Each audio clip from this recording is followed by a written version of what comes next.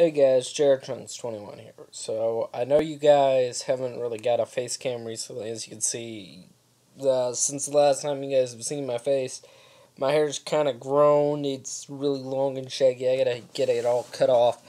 So, anyways, a little bit ago, I watched a video Mystic Umbreon put out earlier this earlier today. I'll link it in the description of this one. This was er, earlier on uh, Sunday. I am recording this a couple hours before I'll record the red randomizer. And I was like, this is going to go up in two days on Tuesday, on one of the days where the red randomizer isn't going up. But he was talking about his Pokemon team that he would have if he had a team in real life. So mine's a little out of order, but it is my team of six. So we're going to start out with uh, number six, actually, by a counter. And it is the my mascot for the cha- for my my Pokemon mascot for the channel, and all in all, it's a black Rayquaza. Now, in real life, in the Pokemon games, my inspiration for this is an Emerald version when I was younger. Emerald came out when I was still in elementary school. Or, uh, well, actually, I was pretty closer to what would be called middle school. I was probably closer to sixth grade. But uh, the school I went to, sixth grade was mixed in with the elementary schoolers, kindergarten through five. So I had been told by a couple of my buddies, you know, we could find you could get a black Rayquaza if uh, you could get one. Well, this was back. At, I lived out in the country. I back in those times in the country, I didn't have high speed internet. I had dial up. I'd spend two or three hours looking for information, and I couldn't find any solid info. So I would spend. I spent a month, a month plus. I think it's been a while. Uh, over a month soft resetting for a shiny black Rayquaza. When I finally got one, I chucked the Master Ball at it. I caught that thing, and it stuck with me all the way to Gen 6. And at the time, we had the Pokebank, and I had stashed it in a Pokemon Y because my Pokebank was about to expire. Well, unbeknownst to me, I went out and I was doing some event with uh, the police explorers and I had been told by my sister that she traded in my game. And I lost my shiny black Rayquaza, my best friend, for so long. But in how I would encounter this, I want to think uh, back when I was uh, about in third grade, I was bullied a lot. I was small, skinny, easy target for bullies. And I remember uh, during one winter where the playground itself was uh, closed off due to the weather we were stuck on the blacktop, and I, I had been cornered by three or four bullies that were beating the crud out of me. And I, I want to change that memory to being something good. And the memory I would I I can imagine Rayquaza coming down with all the snow in the back and it being cold and everything flo- and all the snow falling and me getting bullied and everything. I just can imagine Rayquaza coming down and protecting me shielding me and scaring off my bullies. And at that point, I wouldn't be able to capture Rayquaza. I'd be too young. I'd be 10, 11 years old. But uh, Rayquaza would be there whenever I'd get lonely or scared. And later on in life, I would end up capturing it. I, I imagine being seventh, eighth grade, right before I left my home state of Indiana, capturing the Rayquaza my dad would come, my mom would come in with a Pokeball and be, okay, John, it's time for you to do your Pokemon adventure. It's time for you to go out into the world. You can come and live with us. We're going to continue going. The rest of the timeline's the same. But Rayquaza would be my real first Pokemon. I would go out and it'd be a cold winter day, and Rayquaza would be there waiting for me right across the railroad tracks at a at the dilapidated building that was right across the railroad tracks from me. And as I'd enter, I'd encounter my number three, which would actually be Gengar. Because in the town I grew up in, there's a burned out, dilapidated, or there was a burned out, dilapidated building. And the rumor was that a man had hung and killed himself in there and that that is dark and that is very tragic. This is a rumor. This is a playground rumor, so I there's no validity to it. There's no way I can confirm or deny it. But because of the rumors, people would repeatedly say it was haunted. And I could see Gengar being in there, joking around, and it being one of my other Pokemon that just tags along with me, like Ash, where I wouldn't have, I wouldn't actually catch it, but it would always be there with me. Gengar would be there with me, and I'd catch the Black Rayquaza, and the two would be there for me.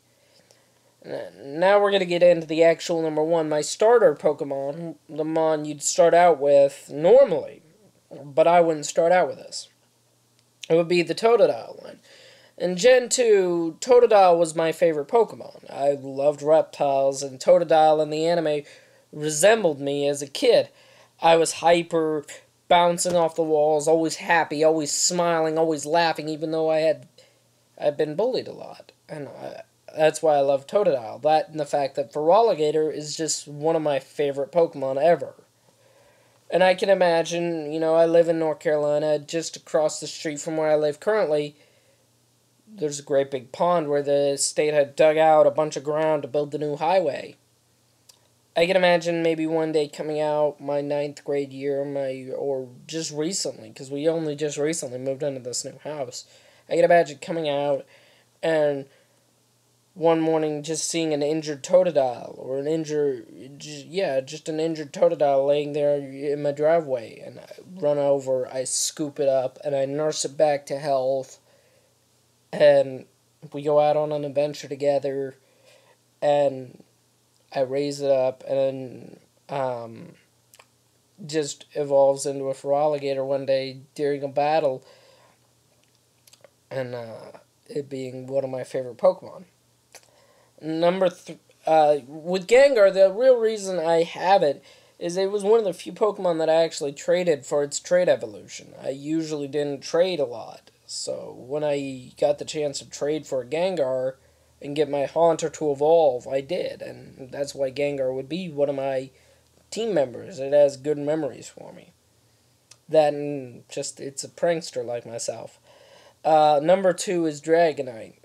Now, in Gen 1, my very first Pokemon to ever reach level 100 in Red version, and again in Fire Red, was uh, Dragonite. I caught a Dratini, or no, actually in Red, I think you got a Dratini at the game corner. Either way, I know I did it twice. I did one from the game corner, either in Fire Red or in um, Red version, and then I did one with the Dragonair from uh, the Safari Zone. Now I can imagine myself running across the Dratini when I lived in Tennessee for the year. I can imagine, you know, there's a small river by just down the street from where I lived, or even better yet, I could, uh, I would think maybe I'd run across the Dratini while I was at school, getting, again, bullied. Uh, it's, it's a big part of what molded me was the bullying, and I can imagine uh, part of it being a bully messing with Dratini and me rushing in to help it. And after that, me and Dratini just being good friends, being good partners. And uh, eventually I raised it up to be a Dragonair. And uh, we end up coming down here in my 10th grade year me and Dragonair and Dra- and Rayquaza and all the other Pokemon that are on my team at this point are just chilling out at high school, and at some point Dragonair evolves into Dragonite.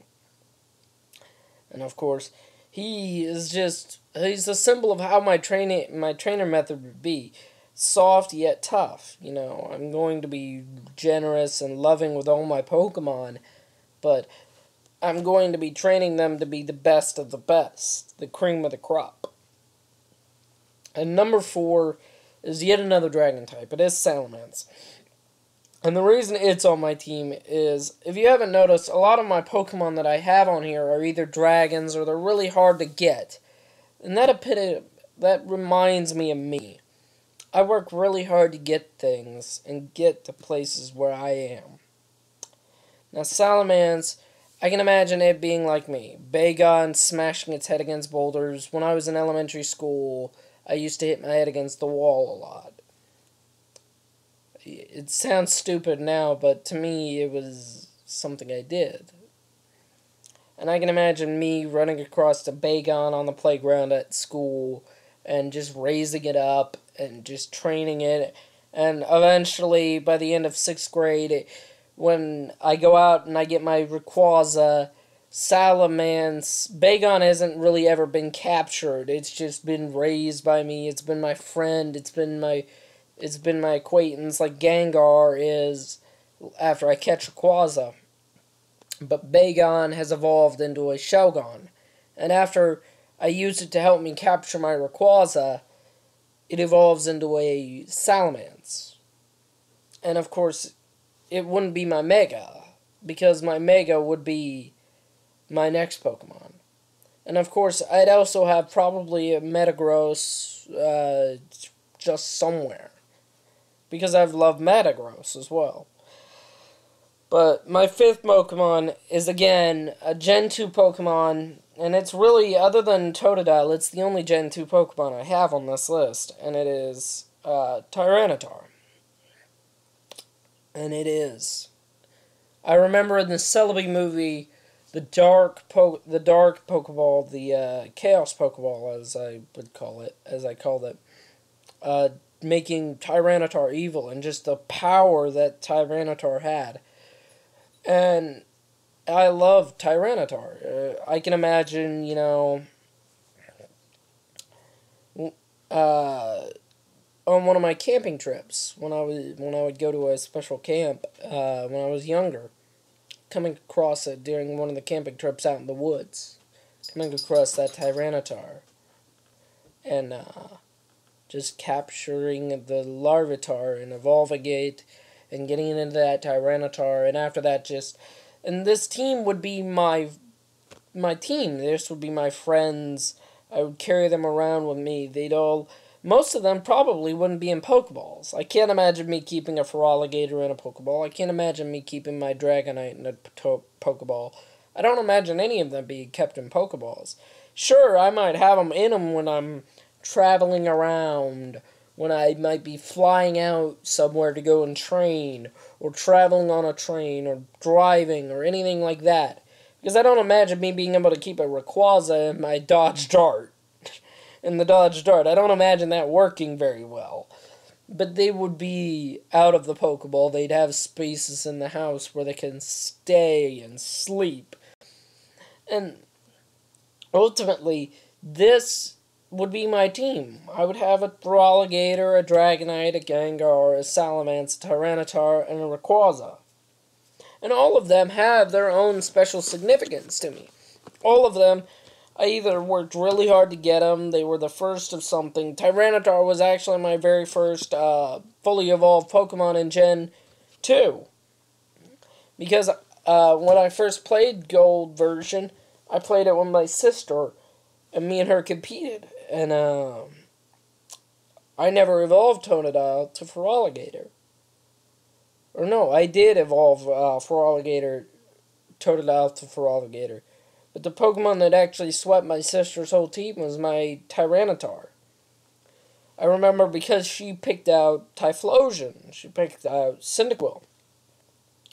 And she trained her Typhlosion so well that it just swept my Feraligatr. It just destroyed Feraligatr.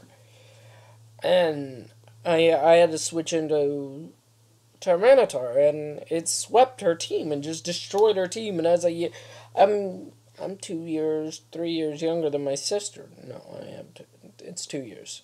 I'm two years younger than my sister.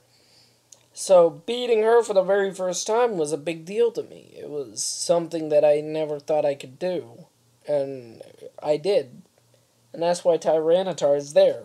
It's not because he overwhelmingly beats out Metagross. No, Metagross beats out him.